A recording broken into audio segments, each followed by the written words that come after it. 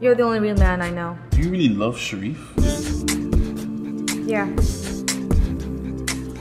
Sharif! Well, speak. I want to hear every word of this. Of what? Are you caught up in that much crap? You can't even keep track? Based on what? Some dream of all things? Get out!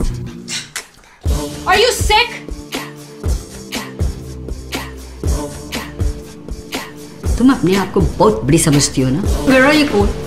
By God, you'll see that you have no friends except for your own mother.